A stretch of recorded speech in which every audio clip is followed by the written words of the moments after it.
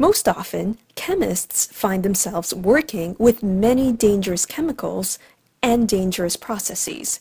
Can you think of any reasons that chemicals or chemical processes that could present a danger to workers in this field? Pause the video and continue when ready. The main reasons are that the chemicals used to make a product could be very toxic, explosive, or corrosive. And it's not just about the chemicals. Some chemical processes require high temperature and pressures to produce certain chemicals. Such temperatures and pressures have been known to cause fires, explosions, and serious chemical accidents at the plants.